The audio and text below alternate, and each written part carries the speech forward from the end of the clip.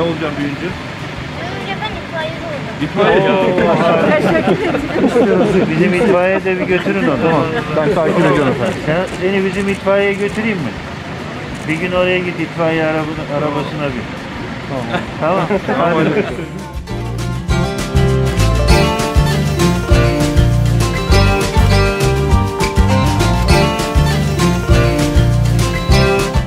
İtfaiyeci olmak demek, herkesin yardımına koşmak demek.